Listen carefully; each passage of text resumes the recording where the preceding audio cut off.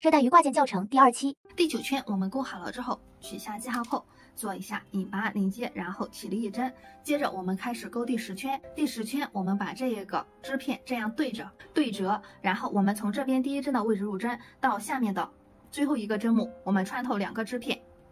钩短针，先钩一个短针。下一个我们也是一针对应着一针开始进行编织短针。总共是编织十二个短针，一针对应着一针。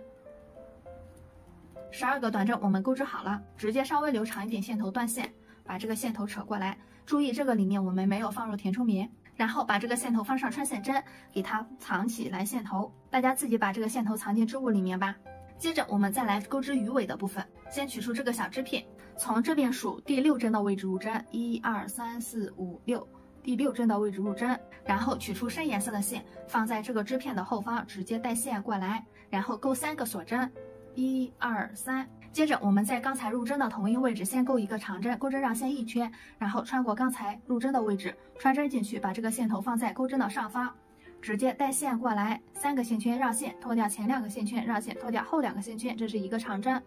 同一个位置再钩一个长针，绕线一圈，穿针进去，带线过来，同一位置再钩一个长针，然后钩三个锁针，二三，然后我们下一个针目入针，编织一个引拔针，带线过来，再带过下一个线圈，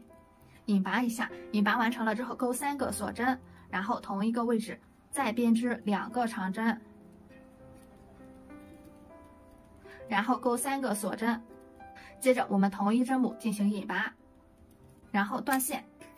把这个线头扯出来，这个线头可以放在后面，然后这个鱼尾的部分就做好了。这个鱼尾巴做好了之后，我们把藏线的这个线头直接断线，另外一个线头我们用穿线针给它藏在这里面就可以了，大家自己藏起来吧。接着我们来看一下鱼鳍的部分，同样是取出线，同样是用环形起针，穿针进去，带线过来绕线。我们先钩三个锁针，一、二、三。然后同一个位置钩三个长针，钩针绕线一圈，穿针进去，带线过来，脱掉前两个，脱掉后两个，同一个位置钩三个长针，三个长针钩好，再钩三个锁针，一二三，然后在这个大洞里面进行引拔，带线过来，再带过下一个线圈，断线，拉出，然后再拉紧。然后这一个小鱼鳍就做好了，鱼鳍我们需要钩织两个，大家再钩出来一个一模一样的吧。这两个鱼鳍钩好了之后，我们直接把线给它断掉，留一点就可以了。然后这个鱼鳍后面涂上适量的热熔胶，直接给它粘在这上面，这个眼睛也给它粘上，这个小热带鱼就做好啦。我们把这三个组合在一起，然后我们钩的小鱼给它组装在一起，可以放上一点小装饰，赶快做起来吧。